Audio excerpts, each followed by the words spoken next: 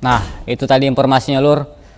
Uh, nih sering nih Banjek kasih tahu nih ke dulur-dulur ataupun kawan-kawan mahasiswa kalau berkendara hati-hatilah, jangan ngebut. Uh, pelan-pelan meh, kita pasti nyampe juga lur. Daripada kita kecelakaan ya kan. Dan tetap harus pakai safety. Informasi ketiga, uh, keempat maksud Banjek. Ini ada juga nih seorang perempuan ditemukan tewas di atas kasur di salah satu kos-kosan Alpin di kota Jambi.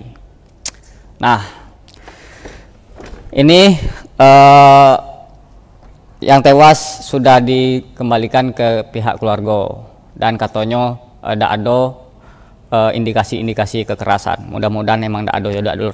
Kita tengok informasinya di pantauan. Bang Jack. Seorang wanita berinisial M umur 22 tahun ditemukan tewas di salah satu kamar kos Alpin yang berlokasi di RT 5 Lebak Bandung, Kecamatan Jelutung pada Senin sore. Penemuan mayat perempuan tersebut pertama kali diketahui oleh resepsionis kos yang sedang melakukan penagihan uang sewa pada pukul 12 waktu Indonesia Barat. Namun saat itu resepsionis tidak berani masuk ke kamar karena melihat M sedang tidur. Saat dilakukan pengecekan kembali pada sekira pukul 15 waktu Indonesia Barat, resepsionis tersebut melihat korban masih terbaring di tempat tidur dengan posisi yang sama. Kemudian resepsionis tersebut langsung menghubungi pihak kepolisian untuk memeriksa kondisi M. Kapolsek Celutung Ibtu Al Imron mengatakan bahwa dari hasil visum luar tidak ditemukan adanya kekerasan terhadap perempuan tersebut.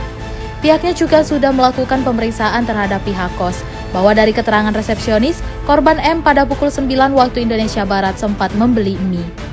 Sementara itu, dari keterangan keluarga, perempuan tersebut memang memiliki riwayat penyakit jantung.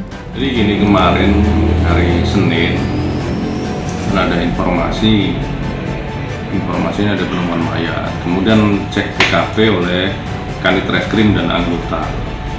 Dan koordinasi juga dengan identifikasi meluncur ke lokasi. Sampai lokasi diketahui memang ada betul. Di salah satu kosan di RT 5 Lebak Bandung itu cewek inisial M usianya 22 tahun dari tindakan kita cek dan olah TKP kemudian dibawa ke rumah sakit Bayangkara hasil pemeriksaan dokter tidak ditemukan tanda kekerasan saat ini jenazah M sudah diserahkan ke pihak keluarga untuk disemayamkan. Dimas Sancaya, Cek TV, melaporkan.